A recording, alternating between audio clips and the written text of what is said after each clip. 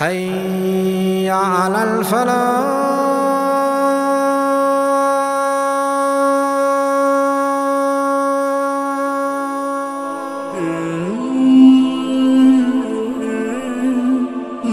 The first thing that happens to this person when he is on his deathbed, his family are sitting all around him. The angel of death descends upon this person. You are surrounded by your family, but you feel so alone because only you can see these angels. And you are trying to say to your family, Help me, help me, but they can't help you. And then he says, O evil soul, come out to the anger of Allah and His punishment. You're in your grave and you can hear your family's footsteps as they leave you. But do you have anywhere to run? Do you have anywhere to hide? Do you have anything that you can protect yourselves with?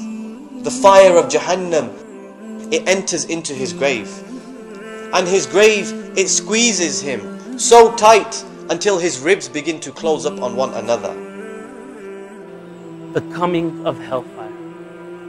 And hellfire, brothers and sisters, is not a pit.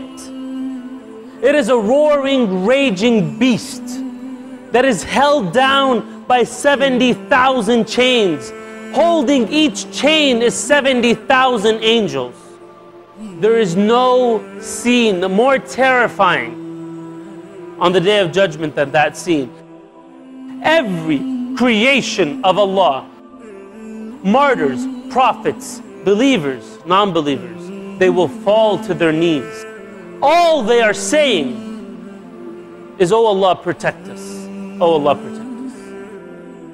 And the hellfire is a place of the most extreme suffering, the most extreme pain, of every level that you can imagine physical, mental, spiritual pain and suffering and torment.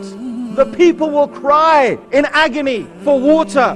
They will cry for a drink, something to cool them, and they will be given a water. They will be given a drink, but it is a boiling water that will scald their faces and burn their insides. This is the hellfire. The guardian of hellfire, his name is Malik. He has never smiled since the day hellfire was created. He has no remorse. He has no feelings of sensitivity. He is desensitized to all types of horror. No feelings. Doesn't feel sorry for anyone. Hellfire, ya akhwan, is something, wallahi, not to be taken lightly. Saying, Oh our Lord, please take us out.